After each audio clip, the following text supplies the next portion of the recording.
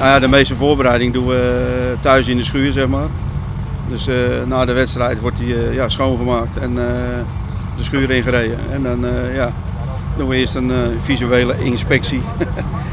wij rijden normaal in de superklasse, op het NK gebeuren.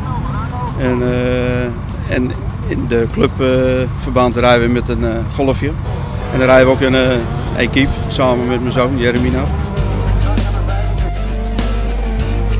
ik rijd in uh, juniorenklasse en dat is uh, een klasse van standaard auto's tot en met maximaal 1300 cc.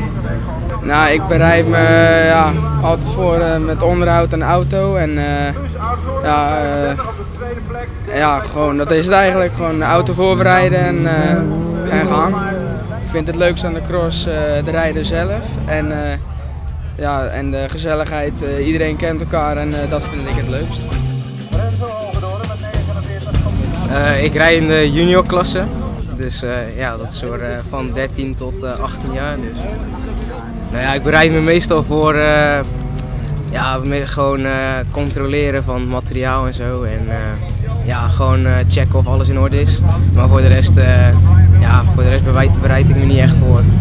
Nou ja, het leuke aan de autocross is ja, vooral de, ja, het is gezellige sfeer en ja, het is ja, ja, ik weet niet hoe je dat uitlegt, maar het is gewoon een hartstikke leuke sport, zeg maar. Dus het is, uh, ja, en het is nog betaalbaar in sommige klasses.